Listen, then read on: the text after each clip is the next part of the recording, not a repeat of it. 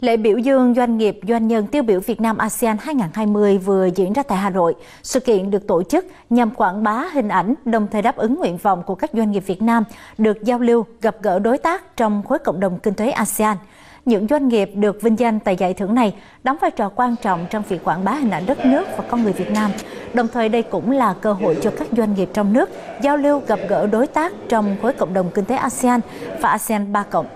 giải thưởng ưu tiên các tiêu chí như là chính sách bền vững, chính sách an sinh xã hội, chính sách phát triển công nghệ và chính sách bảo vệ môi trường. Năm nay, tập đoàn Amway đã đầu tư hơn 500 triệu đô la vào các nền tảng kỹ thuật số, nghiên cứu và đổi mới sản phẩm nhằm xây dựng và hoàn thiện các công cụ kỹ thuật số, đề cao tính tương tác và kết nối với khách hàng tiện lợi nhất thông qua việc phát triển chuỗi trung tâm trải nghiệm sản phẩm hiện đại và năng động.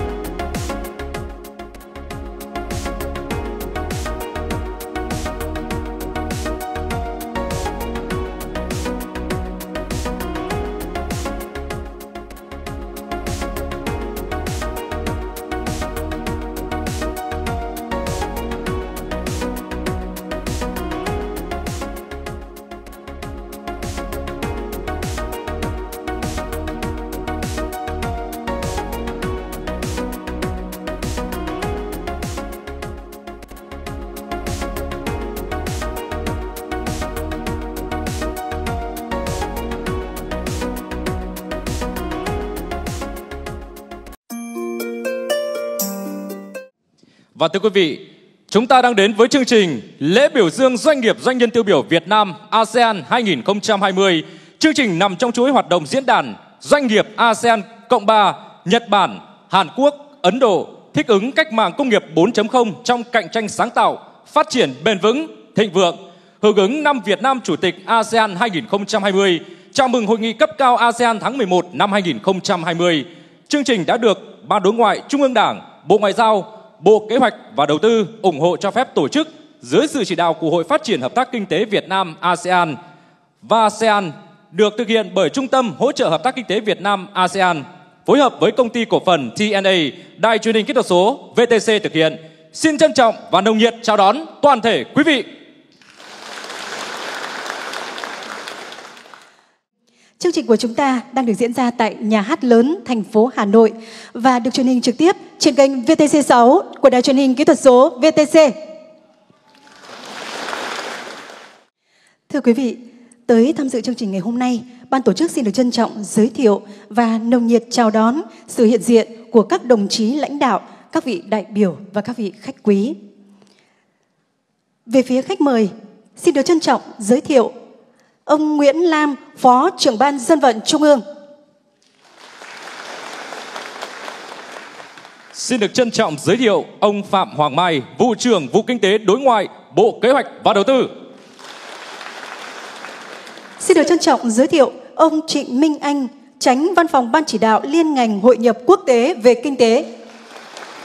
Về phía ban tổ chức, chúng tôi xin được trân trọng giới thiệu ông Nguyễn Thế Phương, Chủ tịch VASEAN, nguyên Thứ trưởng Bộ Kế hoạch và Đầu tư. Xin được trân trọng giới thiệu ông Nguyễn Thanh Hoàn, Phó Chủ tịch VASEAN. Và tới tham dự chương trình ngày hôm nay, ban tổ chức xin trân trọng giới thiệu diện diện của các vị đại biểu, khách quý, đại diện các sở, ngành, thành phố, đại diện các đơn vị hỗ trợ đồng hành cùng với chương trình, các cơ quan thông tấn, báo chí trung ương và thành phố Hà Nội đã đến dự và đưa tin sự kiện ngày hôm nay.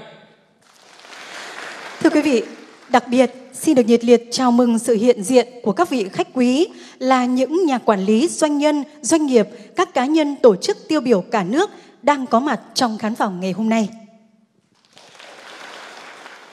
Chúng tôi xin được trân trọng kính mời ông Nguyễn Lam, Phó trưởng Ban dân vận Trung ương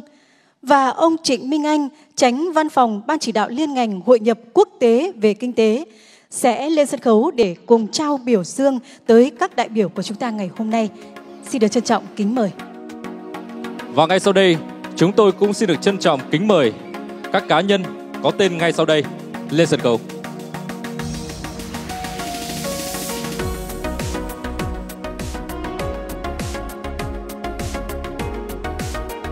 Xin được chúc mừng bà Nguyễn Đức Thạch Diễm Tổng Giám đốc Ngân hàng Thương mại Cổ phần Sài Gòn Thương Tín Sacombank.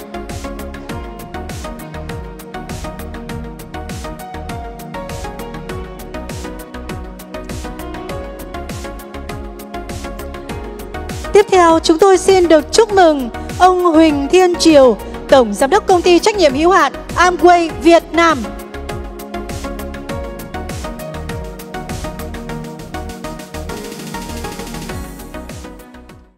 Tôi xin được chúc mừng nhà khoa học Nguyễn Văn Tưởng, Phó Viện trưởng Viện Khoa học Chăm sóc Sức khỏe Việt Nam.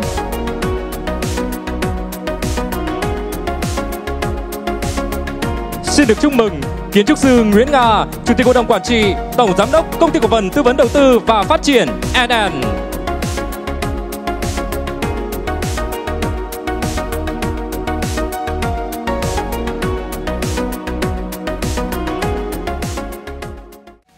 Xin được trân trọng kính mời ông Nguyễn Lam và ông Trịnh Minh Anh sẽ cùng đón lại sân khấu để chụp hình lưu niệm cùng các doanh nhân và các doanh nghiệp.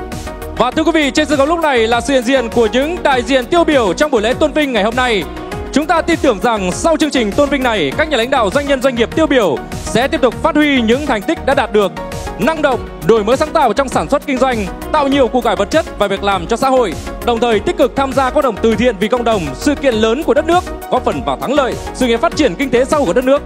Một lần nữa xin ghi nhận và chúc mừng tới các cá nhân tập thể tiêu biểu được tôn vinh và ghi nhận ngày hôm nay.